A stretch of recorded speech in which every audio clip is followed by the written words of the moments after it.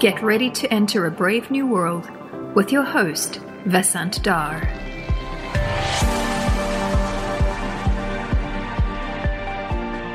Brave New World is supported by the Center for Data Science, or CDS, at NYU. If your organization is interested in engaging with CDS through student projects, please email cdsindustry at nyu.edu. For more color on the podcast and additional commentary, please subscribe to my newsletter at vasantdhar.substack.com. Hello, and welcome to Brave New World. My guest today is paleontologist Peter Ward. Peter is a professor at the University of Washington and the author of numerous books, including Rare Earth and A New History of Life. Given the vastness of geological time, which spans billions of years, I'm blown away by how accurately Peter is able to describe extinctions on Earth and explain the resurgence of life following them. By accurately, I mean to within a few thousand years. And it's sobering to read that life on Earth is headed for ultimate extinction and to think about ways we might prolong it. On that note, Peter, welcome to Brave New World. I am delighted to have you on the show. Thank you. Thank you for having me. Well, you know, Peter, you've had uh, quite a career. I'd love to hear your story. You know, what what took you into paleontology? You know, in, in your book, A New History of Life, you talk about the fact that we've actually learned a lot in this century, which I found really intriguing, you know, considering the timescales at which, you know, you make predictions and the timescales at which you analyze history. So I was really curious about that. So I'd like to sort of head in that direction, but first just tell us how you got into this field. Well, the statement I've had quite a career is a euphemism for I'm old. that I've been doing this for quite a long time.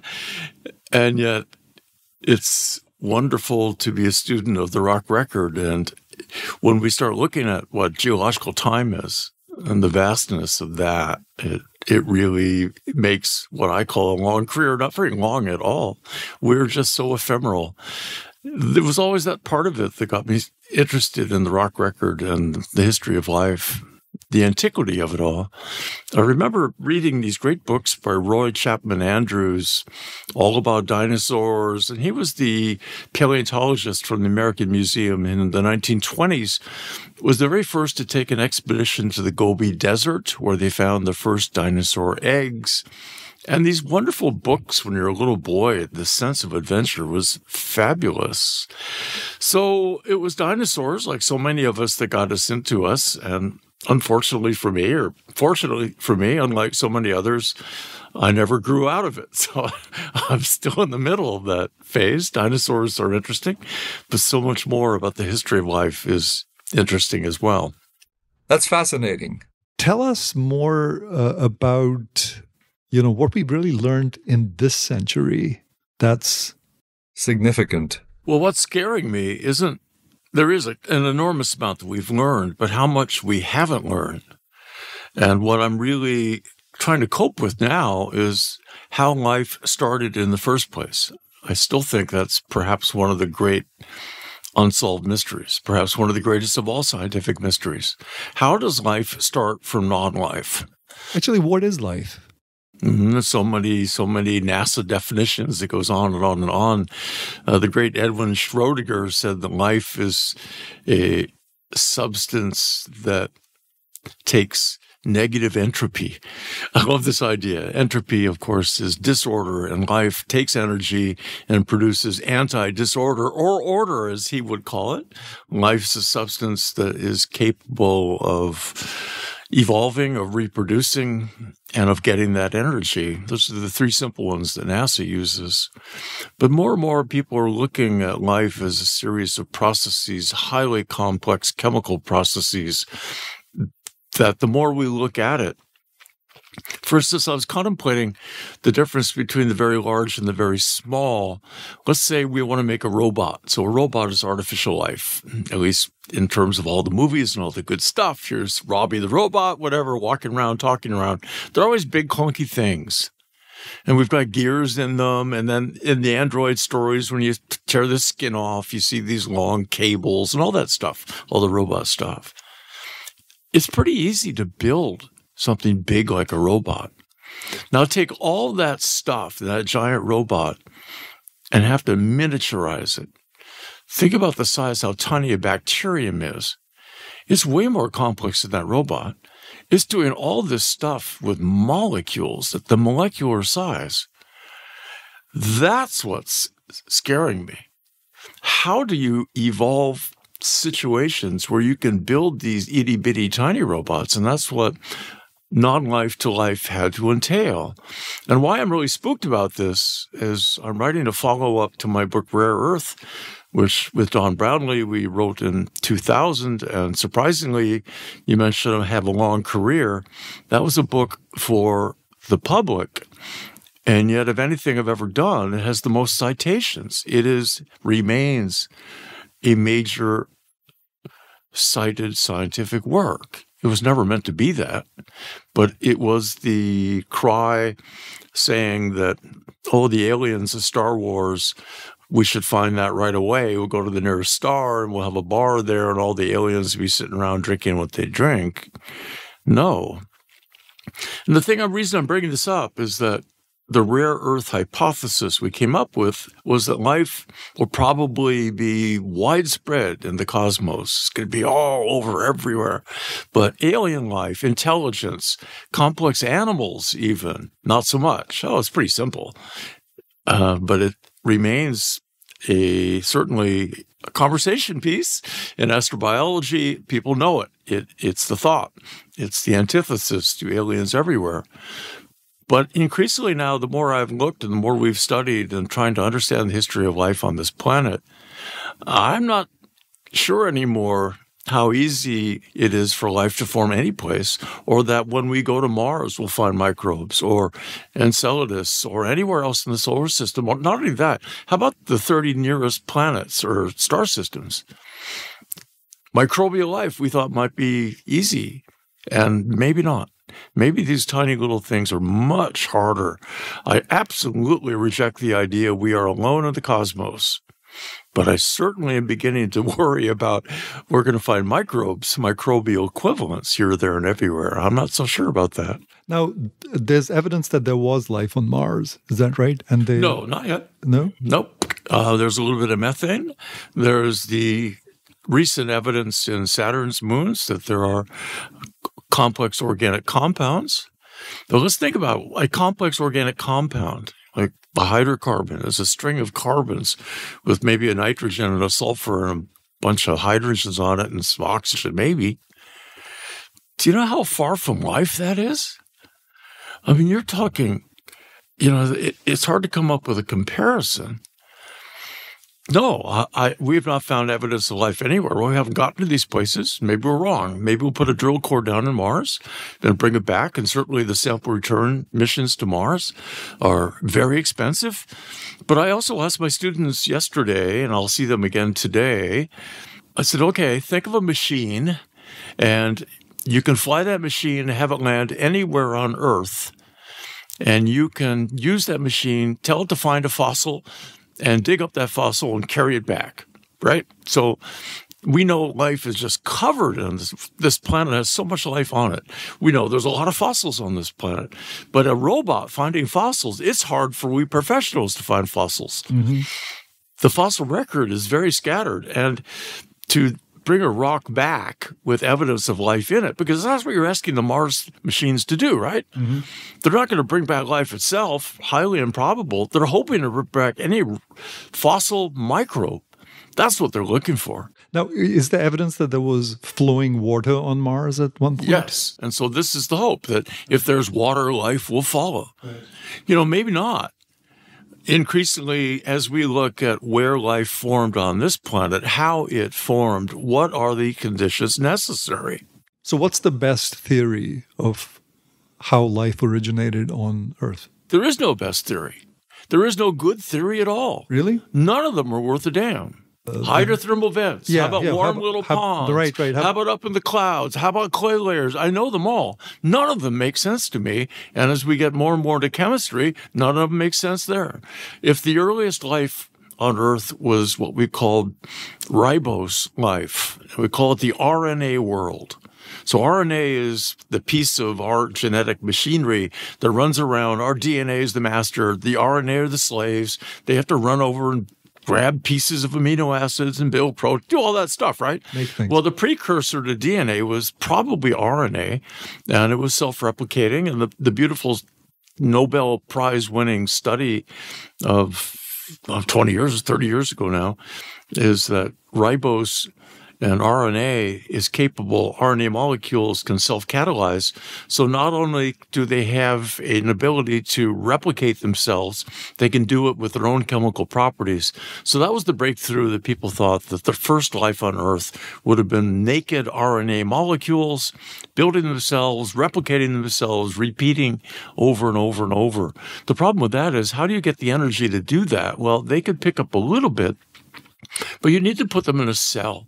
So you need to have a genetic system stuck in a cell that has a separate machinery to get energy. But they still need to originate somehow, right? Yeah. And, and so that's what I'm asking. I actually thought that there was a good theory, but so I'm a little discouraged that you're saying there isn't Oh, it's one. very discouraging. And what we're seeing, the best one I've seen yet, um, comes from the idea that if you go out in deserts, there is a I'm so old. There was a program called uh, many years ago. Ronald Reagan, the future president, was shilling soap for a Western called Death Valley Days. And what he would do is get up and extol the virtue of borax soap. It's borax, the best soap your laundry will ever want, and I'll be president someday. We never said that, right? Reagan did a lot what a career selling, that guy he? had. Yeah, yeah.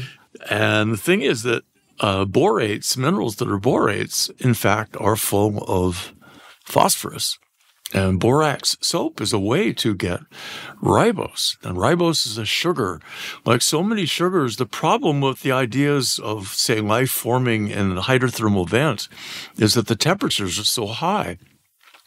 And many chemists have said you can't form any sort of ribose based life if you're at temperatures that are boiling. And we know that many of these way above boiling. And we have microbes that can live in it, but we're not talking about we're talking about microbes that already have a very sophisticated genetic system or chemically able to deal with heat. But we're not talking about things where little pieces of chemicals are coming together. When you boil the hell out of this stuff, it rips apart. You need stability. You can't have high temperature. So more and more we're looking at the origin of life at temperatures that make us comfortable. But once you find those sorts of temperatures, how do you bring all this stuff together? Another way to think about this think of the billions of dollars that various national science foundations have put into the ability or the hope to build life in a test tube. I mean, great chemists, Nobel Prize winning chemists, thousands of chemists. People have been working on this for decades. We're miles away from it. We can bring little pieces of RNA together and get them to grow three or four or five units and then fall apart. We're so far away from artificially producing life in a test tube because the problem is the miniaturization. We can't crack that yet. And so, trying to think about where on earth it may have happened, I'm thinking more and more the best guess that I've seen is that you've got tidal systems and that we're looking now at tides going up, tides going down. When a tide goes out, a muddy bottom is dehydrates in the heat, let's say. So you're condensing things, you're dehydrating things, you're letting chemicals be pulled together through dehydration. You then have water come back in, brings in some chemicals that maybe weren't there, then they dehydrate.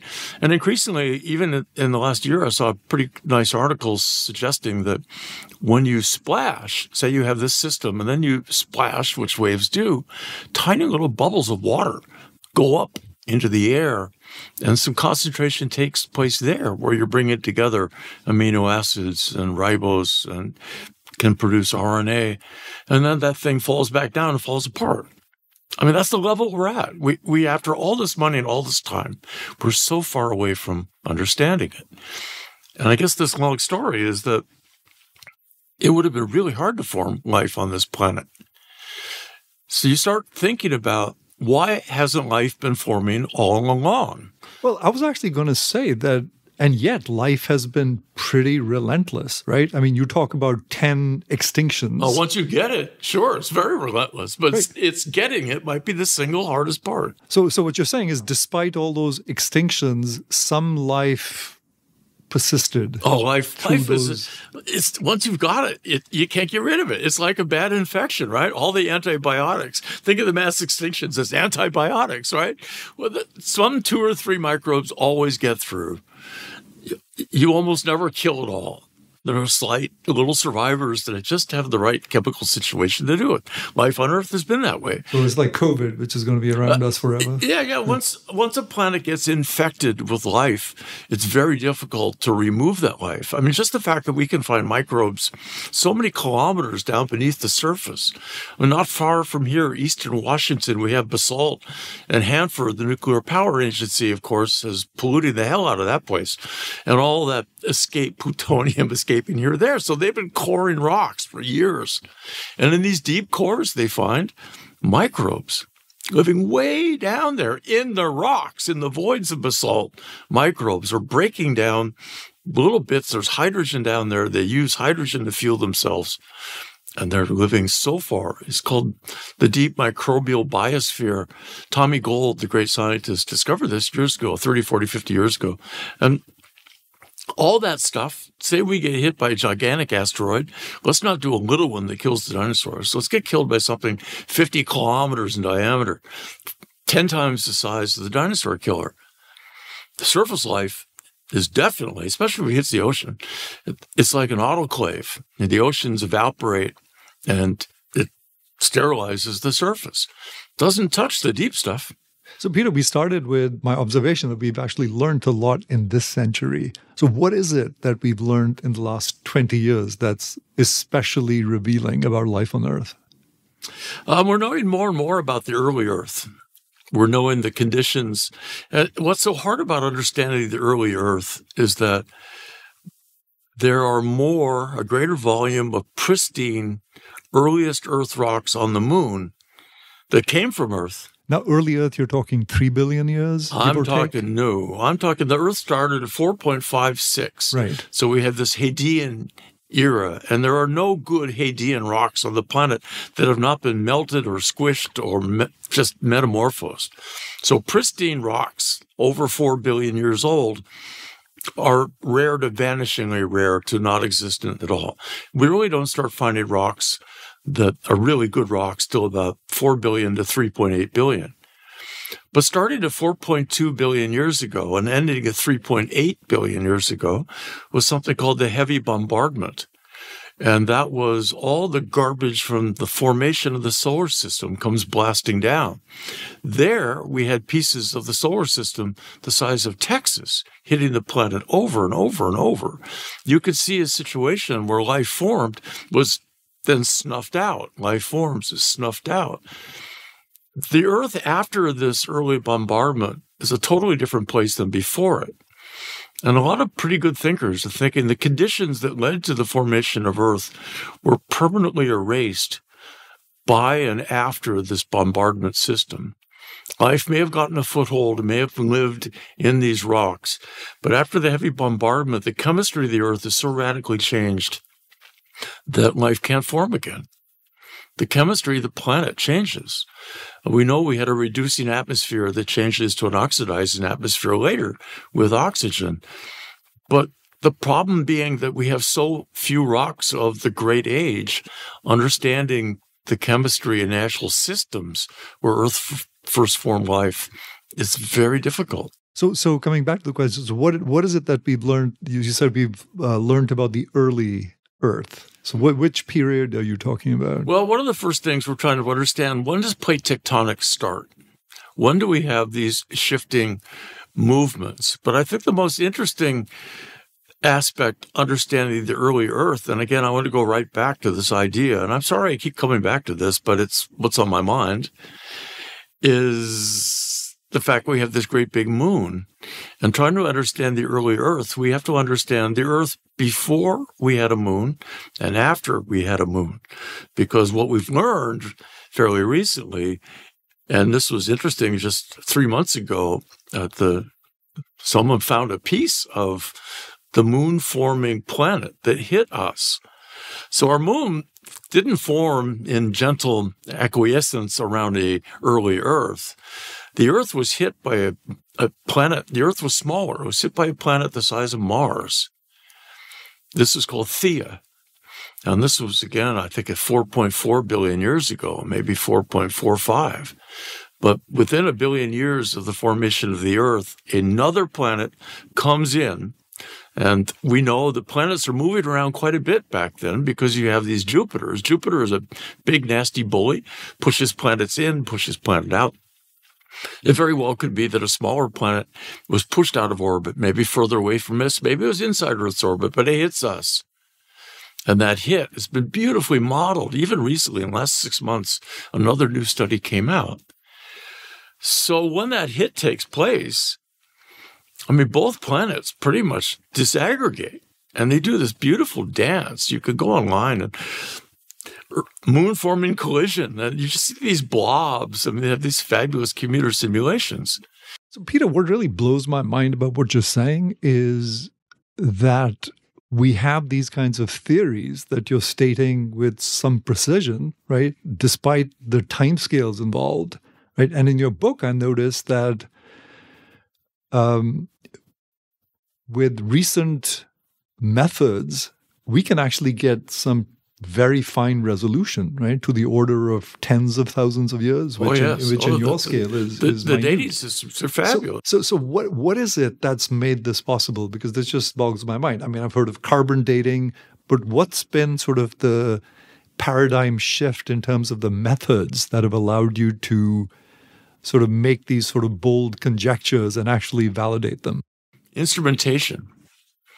And one of the things that at least the American National Science Foundation has been very good at is that entire divisions are based entirely on let's build more instruments.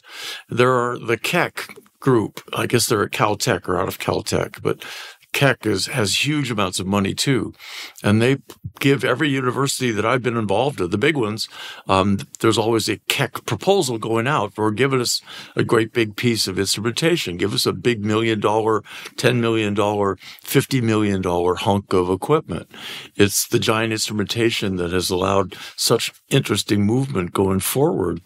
Um, mass spectroscopes, really the ability to look at individual atoms and their isotopes that's so powerful in understanding biology. I mean, it's the use of the instruments that came out of atomic physics and the building the bombs. A lot of that stuff got co-opted into biology in beautiful ways, in such ways that the power of these things.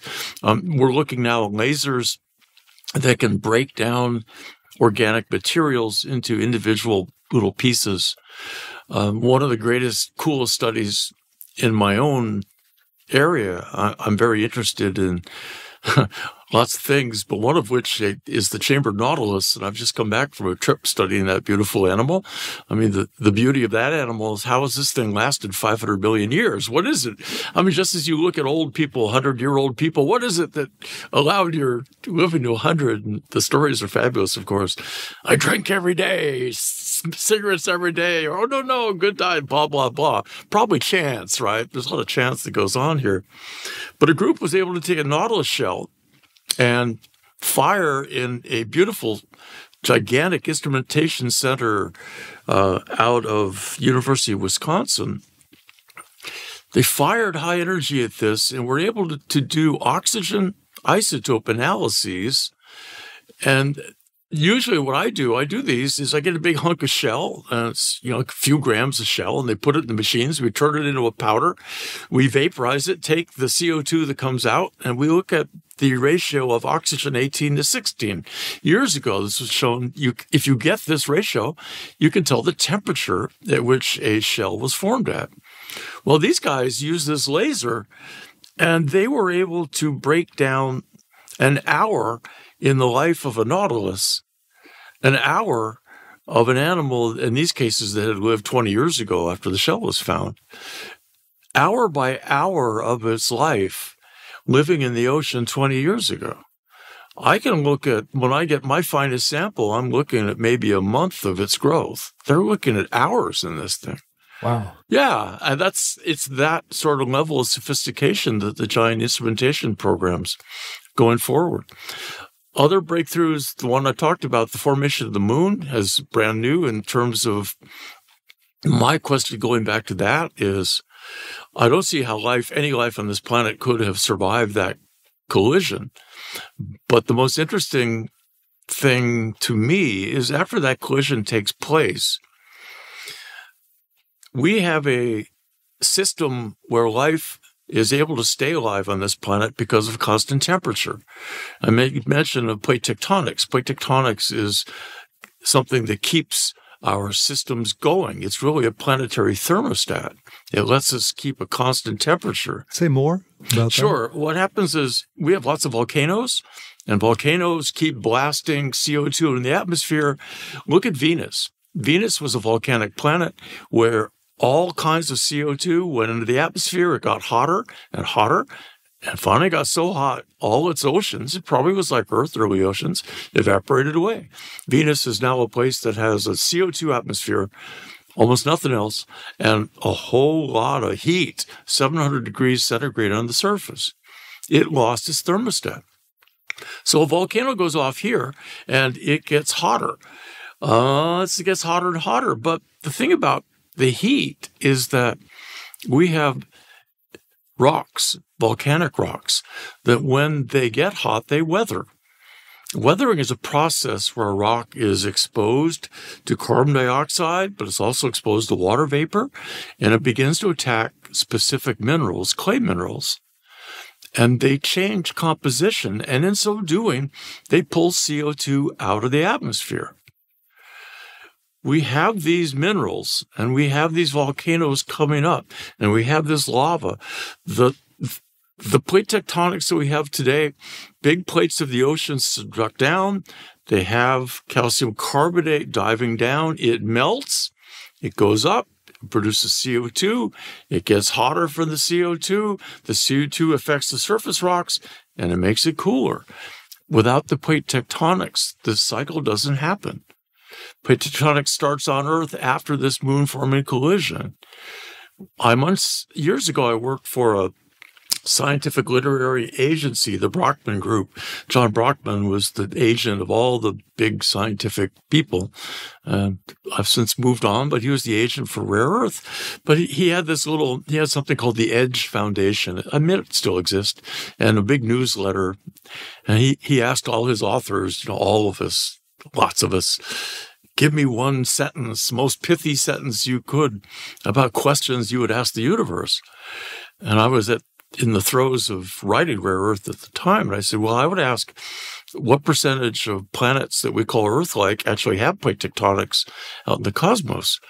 Because one of the things we suggested in Rare Earth that without plate tectonics, you're not going to have long-term stability of climate sufficient to to get to you got to have a very long time for biology to go from a microbe to a radio astronomer and we remember carl sagan said that was the definition of intelligence you could build a radio telescope uh, I wondered at the time, was Shakespeare be thought to be intelligent? Does a sonnet count? But that's irrelevant, right? We don't care about that. But nevertheless, this moon collision would have caused the thicknesses of the upper layers of the Earth to change composition. And just as I mentioned earlier, a big slab of that early planet has been found deep down in the Earth. So we have, we got, we became bigger. Mars is dead. Mars doesn't have enough radioactivity, enough material within it. Venus is dead because it was too close to the sun. It got too hot. It got a very thick crust. We are not dead because of extremely thin crust. Plate tectonics can only take place if you have a very thin crust sitting on a liquid mantle. How much of our crust thickness is a consequence of that moon forming collision? It may be that complex life on this planet isn't the moon itself. The moon, sure, the moon has effects on us. We could talk about those, but it was the formation that led to a big moon because there's nothing else in our solar system that has a planet our size and a moon around it. Venus doesn't have it. Mars doesn't have a big moon. How often do you see that? Saturn does it. Well, Saturn, but Saturn doesn't. It's a wholly. It's not an Earth-like planet. It's not a solid planet. It's a big gas ball. It has big moons, yes, but it doesn't. It isn't a planet where life could form that also has a moon with it. So, Peter, your sort of larger theory here is that I guess life on Earth has been combination of you know sort of ecological and evolutionary stresses, you know, that sort of occur periodically so, what role do both of those play in life? You know, and and and I'm asking because I actually got started in AI with genetic algorithms, kind of early, you know, uh, as sort of computational models, and you know, grew up studying Darwinian natural selection, and I realized that that's really a small piece of the history of life. That evolution takes place in the larger context. So just can you just flesh out your theory here and briefly tell us why it's led to all these extinctions and then the resurgence of life and as you point out sometimes even more diversity you know after the extinction well that's always been one of the big questions and i, I was able earlier in life to have conversations with some really sensationally smart people, one of whom was Frank Drake, uh, the Drake equation. People have said that two iconic equations of the 20th century Einstein and the Drake equation. The Drake equation was the first estimate. Frank Drake and Carl Sagan. Uh, Frank Drake then formed SETI, Search for Extraterrestrial Intelligence, as you well know. Mm-hmm. But the Drake equation was an, an effort to try to understand and make some sort of guess based on science of how many intelligent civilizations are out there. And so Drake and I were talking. It was a great honor for me to talk to him. And we were talking about mass extinctions. And he said, Well, mass extinctions, I mean, they aren't so bad. You think about it, we probably needed them. And that was an argument. And it's an argument I think you're alluding to now. Mm-hmm. And the question to us was, How many do you need? And people have wrestled with this.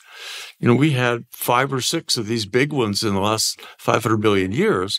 What I still and you alluded to think is is terrible is that we keep talking about the sixth extinction and utterly ignore all the extinctions that happened before animals come along. Mm-hmm. You know, we're animal chauvinists because we're animals. Right. But really, it was the major turnovers far earlier that directed, I think, and put the earth on the path that finally did allow animals to appear. But let's say we are living on a planet just like Earth but we are right near the center of the galaxy. We're not way off on the edge as we are here. And we're surrounded by stars much closer to us. And so the night sky would be just this light show of bright nearby stars. It'd be nothing like we see now, where the stars, I mean, the brightest thing you see is in a northern hemisphere is Sirius. What is it, a magnitude of minus two or something? Venus is so bright. But let's imagine that everywhere around you, you have stars as bright as Venus or brighter. Well, they're close to you. And things that are close have gravity. And the worst thing that could happen, we think, to a planet is you get hit by a comet. Now, the asteroid that killed the dinosaurs probably was an asteroid. Maybe it was a piece of comet, but it was hitting, it was speeding at, say, 20 kilometers a second. But comets, if you pull a comet out of an Oort cloud and push it in, another star comes very close to you and pulls a lot of your Oort cloud out. A lot of those comets are going to hit your planet. One 10 kilometer asteroid reset the nature of life on Earth. What if you were hit every million years by a 20 kilometer comet? Well, you don't go very long before you've pretty much gone back to microbial life. Just accident after accident after accident. And you wonder, I hate to use this analogy, but look what's going on in, in Ukraine, and they're being hit by missiles over and over and over. Or what's happening in the Middle East. When you keep hitting a city with missiles over and over and over, how long does it take until order completely dissolves and that the living systems, the sewer systems, the electricity, all the stuff that keeps human civilization going just break down? Well, think of planets like that. if you have mass extinctions, if you have a worlds that are just constantly under struggle from whatever, and it doesn't just have to be comets. I mean, there are other things that could cause these extinctions. What if you have flood basalts over and over and over, where you're getting huge amounts of CO2 that are causing your biosphere the Permian extinction of 251 million years ago? A gigantic flood basalt does this. So the end of the Triassic, the same thing. The, these things, planets are on knife edge to keep their life alive. So you've got this uh, hypothesis called the Medea hypothesis, which I guess if I were to try and summarize it, says that life could be its own enemy. Well, certainly. What the thing about the mass extinctions? That, yeah, right. Oh, yes, no. No, go ahead. Yeah. And uh, I'll give some background to this. Um, my mother was a great classical scholar, but she was born at a time where women really didn't get to go to universities. So she wanted to be an archaeologist, and she instilled in her kids think about classical literature, read the Greeks. And I did. And one of the great books' influence on me was the story about Jason and the Golden Fleece. And there was a fabulous scholar named Robert Graves who wrote many, many books. He was one of these British dons who finally got sick of England and moved to the Mediterranean. But one of his books was Hercules, my shipmate, story of Jason and the Golden Fleece. And Medea was a woman that he captures, Jason seeking the fleece. There were some funny movies made by it in the 1960s. Medea was the bad mother Jason turns out to be such a bad husband.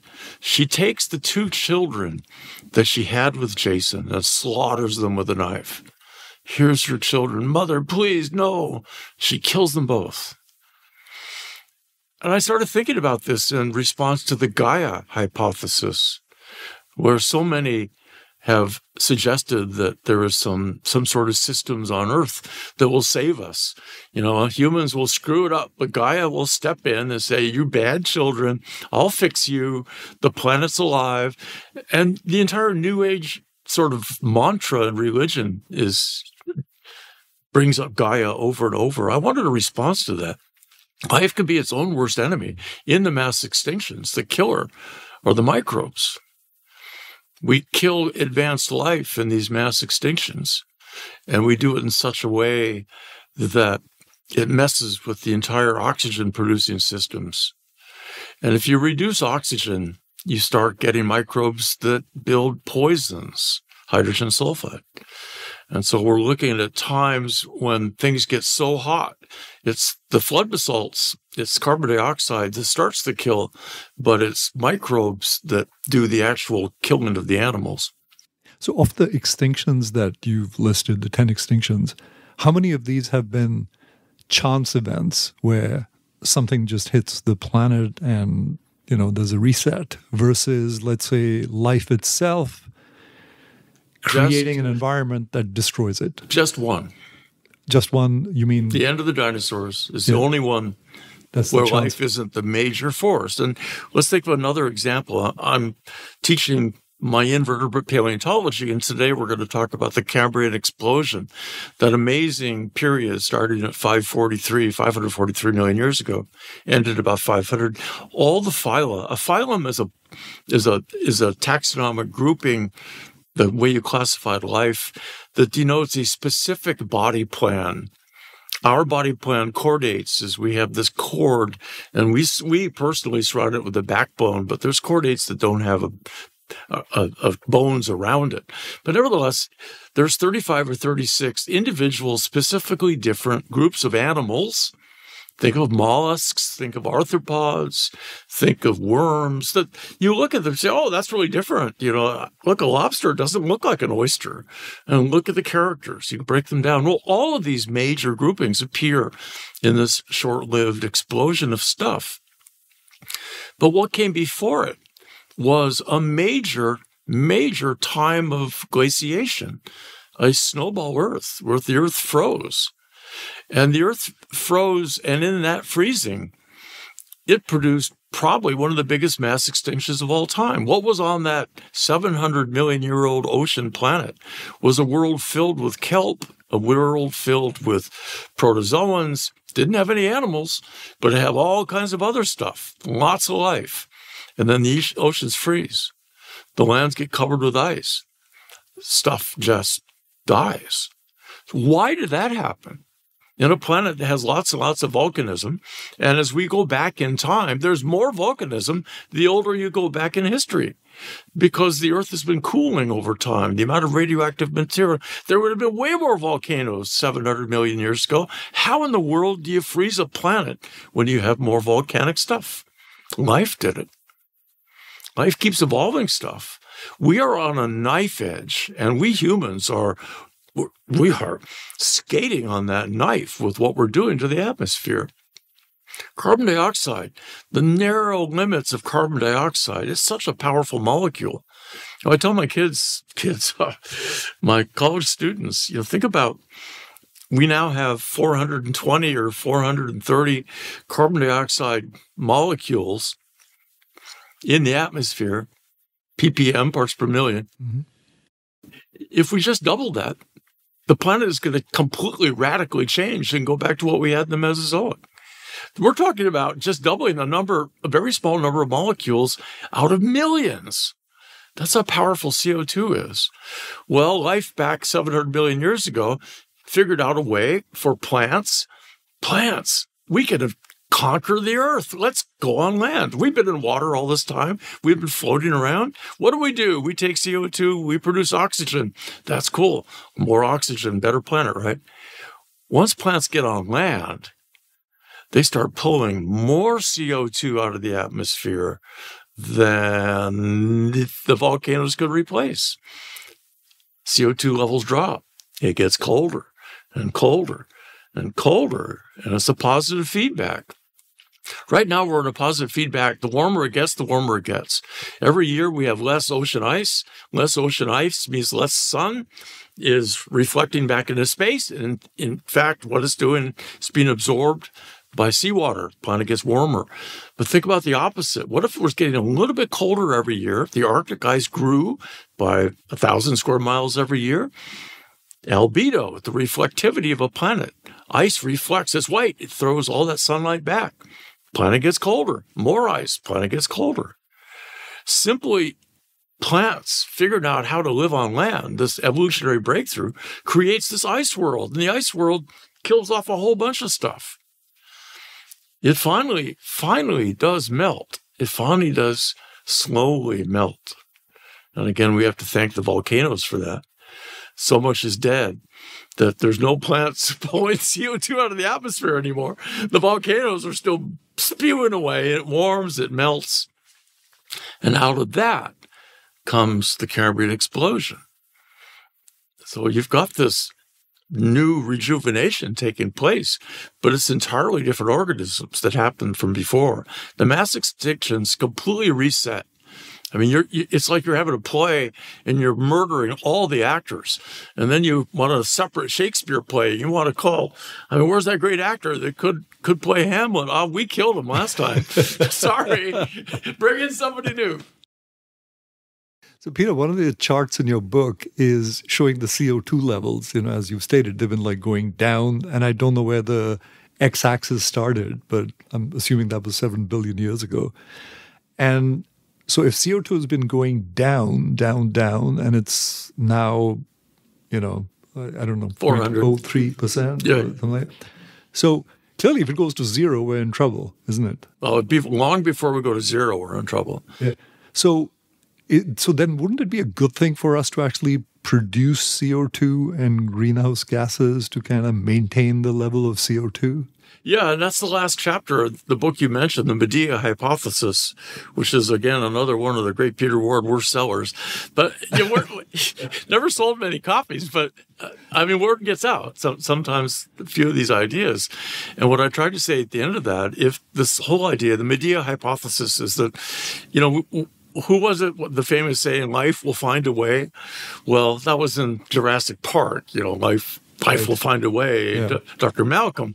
Well, I sort of bastardized that to life will find a way to kill itself off. Yeah. And that if life is going to form on other planets, we might expect that it gets its in its own way and in not very good ways. And the only out is intelligence. And that goes right back to what you mentioned. We know how to fix this. We have a long term drop in carbon dioxide. Well, why is that? Well, it's simple life. Mm-hmm. Life has figured out how to build skeletons. You need CO2 to do it. There are so many more organisms now that use carbon dioxide to build their skeletons, their shells, plankton, all the way up to giant animals, clams, giant clams, all that stuff. There's more and more of it. It keeps pulling out more and more CO2. Plant life keeps expanding all over the place. More and more plants keeps pulling out more and more CO2. What do we do? Well, we also find that the continents are getting bigger and bigger and bigger. That's another consequence of plate tectonics. And so we keep locking up CO2 that is now in rocks instead of letting it recycle not so bad that these little animals make carbon dioxide as long as you can subduct it down, melt it, and put it back into the cycle. But when you build a giant white mountain like you'll see in the Alps or the Apennines, it, right through the center of Italy, there's beautiful white Apennine mountains. It's all limestone. Or go to Banff and you look at the Rockies and these giant white limestone mountains. That's where all the CO2 went. It's in limestone built by organisms. We can easily liberate that. Well, we're liberating it now with our cars. Yeah. But I see humans going forward as understanding we need to balance CO2. We can easily do it. Well, politically, we can't easily do it. Scientifically, we can easily do it. We can fix everything going on right now. We say, stop using this, don't burn this. The complete cap on CO2, we want this level to keep where we are. Nobody gets away from anything but that whatever it takes politically, civilization wise, it's so got to be this level. You're saying scientifically it's possible. Oh, absolutely. And there will be a Medea effect everywhere. The only way out is if there is an intelligence that arises on the planet. Otherwise, life will eventually kill itself off entirely. So are we like worrying? Are we overly worrying about green uh, greenhouse emissions? Um, at the moment, well, yes and no the big yes to me is that we can fix this and it's it's going to be something that takes place. For instance sea level rise i wrote a book about that. It's something people don't worry about because you can't see it in a year. Nevertheless if we were to have a breakdown of some of the great glaciers in antarctica where you have a 10 foot sea level rise people would get pretty worried in a hurry. But in our lifetimes it's so slow that it's not something that people are going to worry about. And yet to me the big problems are the exchange of nuclear weapons. And that happens when political systems break down. And the breakdown of political systems happens when people starve. And I'm seeing climate change is leading to major disruptions in agriculture. So when we have giant civilizations that can't feed themselves, that also now have nuclear weapons, that is a way for complex life on this planet to be exterminated. So as long as we don't do weird things like that, like kill each other with nuclear weapons, so if we preclude those kind of existential threats, are we then sort of okay? We, we can figure it out. I'm we pretty sure we will figure it out. Yeah. But uh, uh, the the wild card is the fact that we've now built the ability to wipe out animals on this planet. And maybe that's the ultimate Medea aspect. So, you know, one of the things I, I recall you talk about is that the extinction of large mammals is particularly troublesome relative to smaller ones. Say say more about that. Well, large mammals also affect and almost in some ways stabilize their environments. Um, one of the interesting aspects that paleontologists have found think about the effects of having lots of really big dinosaurs tromping around. Well, elephants do this. Elephants smash through jungles and they produce byways and pathways, and they have a, an effect on the way that uh, jungle systems are built, the types of plants that are present, there's an equilibrium that gets in place. In those areas where elephants have been removed, there have been changes to the ecosystems, not necessarily changes that local people want. Um, when you remove all big animals, it certainly does have an effect. I think removing right now, removing whales from the oceans is really having going to have an effect because the whales they eat so much plankton and the fertilization content of the number of whales that should be out there and the fact that we've removed the vast majority of whales in the oceans is itself having an effect in coastal systems. How's that? Like what what kinds of effects is it having? Just the fact that whales are these huge fertilization events. I mean, they eat so much food, and the whale feces themselves are nitrate phosphates that are fertilizing nearby coastlines. Uh, whales don't want to be out in the middle of the ocean. There's not much food out there. You know, we think if we can find whales out in the middle of the Pacific. Not really. The open oceans are just biological deserts. No, whales hang out next to continents, but they're certainly a part of marine ecosystems. We certainly see that on the California coastlines. I just saw this beautiful, beautiful National Geographic about sperm whales. one of the interesting things, the diver was in the water when this sperm whale sort of takes note of this diver and then lets out this enormous fecal mass, this huge whale poop. And with the poor photographer, uh, uh, where's my clear water? And he's in this huge brown blob of whale poop. But then they go off on what's the whale poop do? And you, all the little animals are having a great old time with this. Yeah, but changing, losing the big animals certainly affects systems. Robert Paine, one of my professors, um, did a great study in coastal Washington, not so far from here. He was studying marine invertebrates. And so he went out to Tatoosh Island on the Olympic Peninsula. Beautiful, beautiful, pristine area. The ocean there is cold, but hugely diverse. So he put screens and he bolted screens over rocky intertidal. So he put a screen over the barnacles and the mussels and all the stuff that was there to keep out the big animals. And the big animals are predators. So this place was a place that the starfish couldn't get there anymore. And the sculpins and the things that would come in and smash and grab and eat barnacles, mm-hmm. they can't get there. And he went back every year for 10 years. And by the end of the 10 years, there was one single species left under the screens. The big animals, the predators, maintained diversity. They didn't let any single animal overwhelm everything. These systems were kept in place by larger animals. Quite often, big animals are predators. You remove them, and the systems drop in diversity. So, Peter, let's talk about some of the bad news, specifically how long before the Earth becomes too hostile for life to exist. All right, let me do an analogy. Let's just say your listeners can't see us, but both of us have sort of gray hair. But let's just say that we have just stumbled on a way to extend our lives by 50 years. I'm, I'm all ears. So let's think about the planet, planet Earth. Planet Earth the way things are going, if nobody does anything, and nobody, I mean us, right? Yeah. We're the intelligent species. Um, the sun is going to expand and expand, but we've got another 7 billion years until the sun envelops us. So I'm saying that I can't stop us from getting wiped out, but as it is now, all animal life is going to disappear on this planet less than a billion years from now. Now, a billion years is a really long time. But let's just say I'm going to give you another 6 billion after that. You and I get another 50 years. That's pretty cool, right? But how are we going to get that, right? I mean, technology. So say more. We're what smart. Kind of technology we can do, we, it. You mean, We're absolutely smart. You mean just leave or some other no, kind of tech? Go underground? Could. Like, what, what's the technology? Well, or, or free, of course, having said free, that, free the carbon, put it. You know, yes, we do that. We yeah. can regulate stuff. And as the sun gets more and more powerful, we would have to put sun shields up. Mm-hmm. Technologically, if we keep going, look how far, look, think about the last hundred years.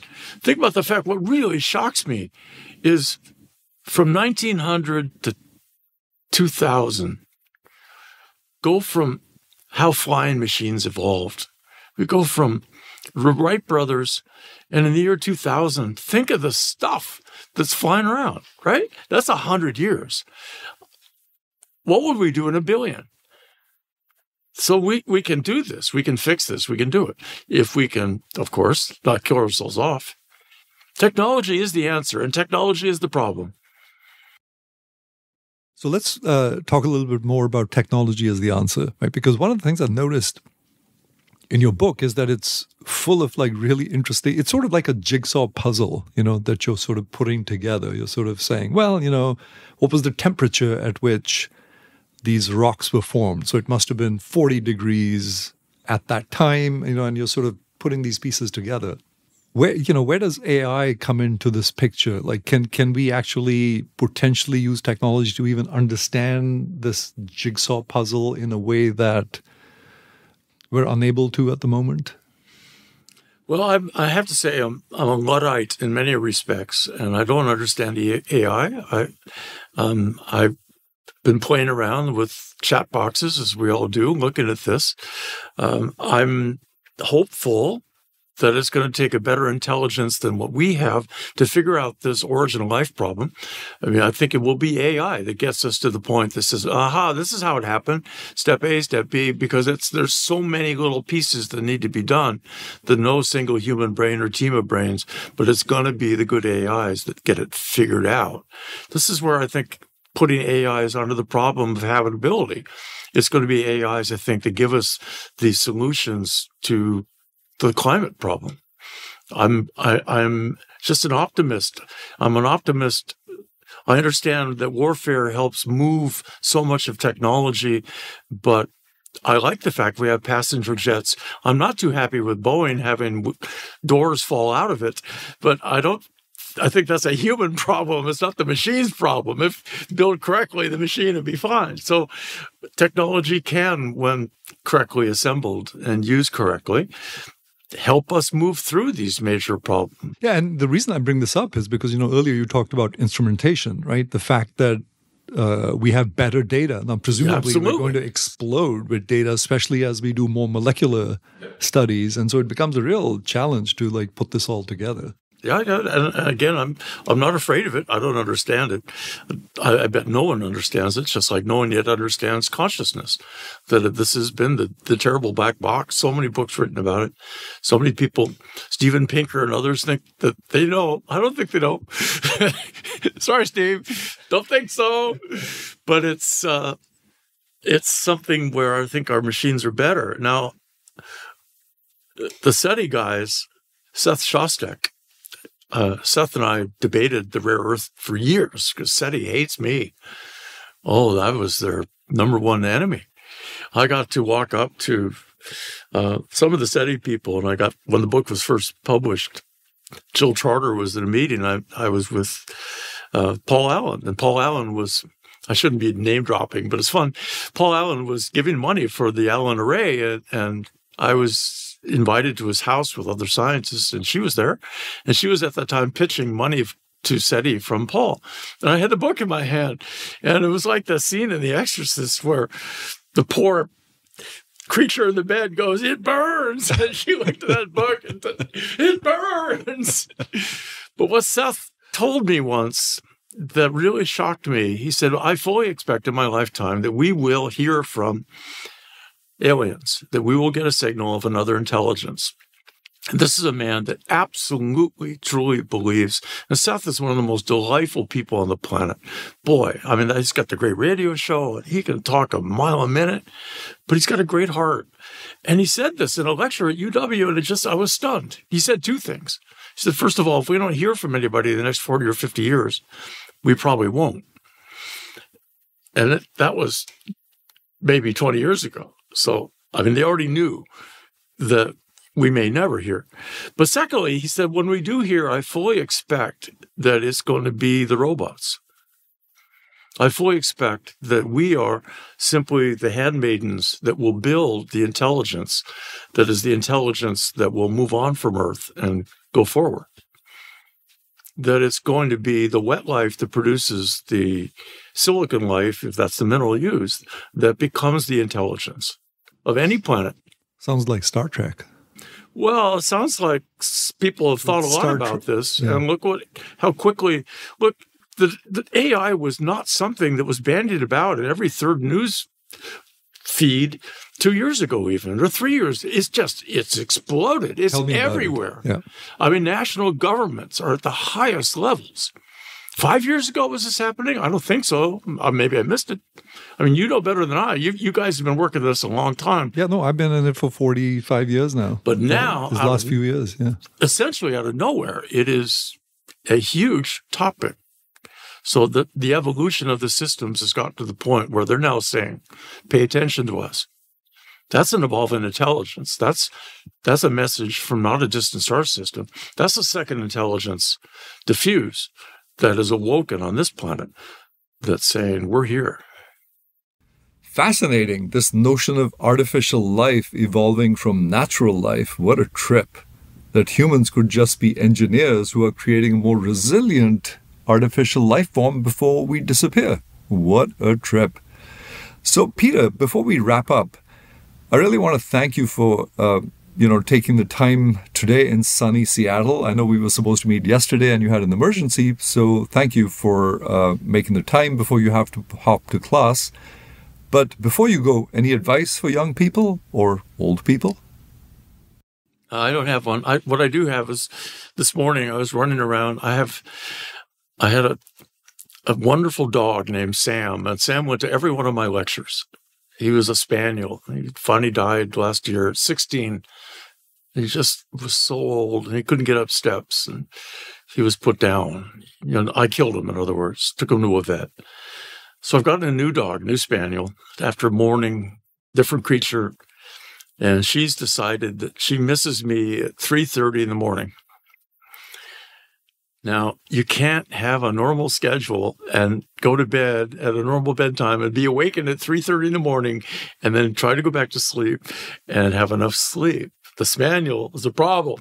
She's such a lovely creature. I love her to death, but she's we're not getting stuff done. And my wife, who's got a great job, is going because she gets awoken by the spaniel too. And the spaniel has to jump in bed with us and then snuggles. It's just we call her the worm now. She worms right up. It's such a nice thing, but she wakes everybody up. I know exactly what you mean. I, I live in a parallel world. I have exactly the same uh. story. And this morning, you know, we're in Seattle. I woke up at 2.45 oh this morning, gosh. which was 5.45 New York time, because my animal wakes me up at 5.45 and wants to, you know. Mm-hmm. play and snuggle. Yep. So there you go. So in this particular case, I'm walking out grumpy, and I've got I'm worried about. I've got to get the dog to the dog sitter. I've got to get to see you on time. I felt badly I'm not able to see you yesterday, but I also have 50 students who are expecting me to give a really great lecture at 1.30 today.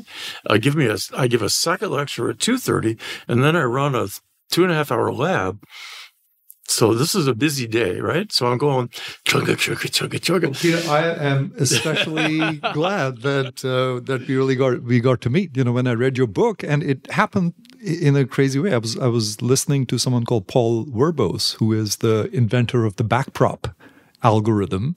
He's one of my major correspondents. So he wrote you know, me it, yesterday. Wow, this is such a small world because I have often wondered like why we don't hear more about him or from him, considering that the world of AI runs on his algorithm, right? I mean, he invented backprop, and yet we hear about everyone else except him, right? It's it's so strange but he's the one I was listening to who actually pointed me to you. So um, he's an amazing guy. He ran big portions of NSF, National Science Foundation. He was a big out. proponent, saying that I gave a lecture there ten years ago, and he heard me talking about the mass extinctions, and it sort of he, I saw the the eyes go like this. Yeah. Yep. No, I uh, yeah, and that's and that's what pointed me to you. And I read your book, and I saw you were at uh, UW, and I thought, well, I'm going to be in Seattle, so let's this do this face fantastic. to face. So it's been it's been great. I really appreciate the time, Peter, and uh, I wish I could sit in on your class, but I've got one to teach myself.